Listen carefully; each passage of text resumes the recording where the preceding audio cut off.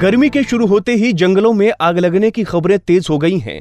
कुमाऊं के जंगल धू धू कर जल रहे हैं और वन विभाग के दावे धरे के धरे रह गए हैं। जंगलों में लग रही आग से न केवल वन्य जीवों को साथ ही प्राकृतिक संपदा को भी खासा नुकसान होता है।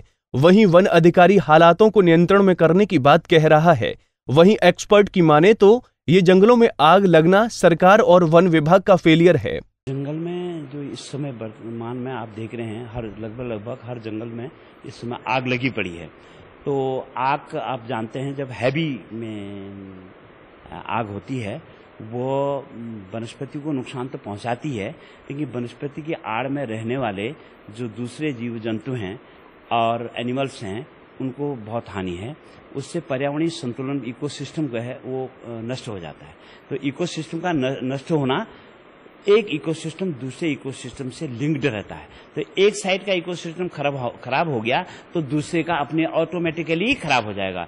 तो जल स्रोतों का सूखना और वन्य जीवों का विनाश होना और इतना प्रदूषण ये धुआँ निकल रहा है तो इतने पौधे इतनी कार्बन डाइऑक्साइड वहाँ से मोनोऑक्साइड निकली, ये जहरीली गैसेज भी उसमें हैं।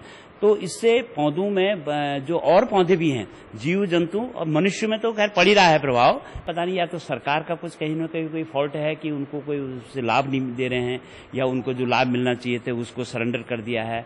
नहीं तो आग लगने पे पहले ये होता था कि सारे गाँव के लोग, क्षेत्रवासी आग को गलती मानते थे कि जंगलों में आग भड़क गई भाई। उनका ज़्यादा प्रेम वन्य जीवों से था।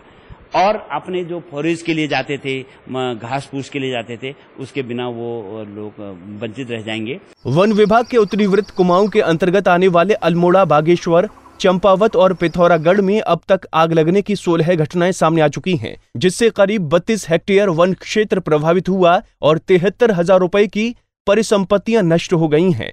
वन संरक्षक का कहना है कि दावानल पर काबू के लिए क्रूज स्टेशन बनाए गए हैं डिवीज़न है अल्मोड़ा और सिविल सर्जन अल्मोड़ा उसमें छिहत्तर क्रूज स्टेशन बनाए गए हैं।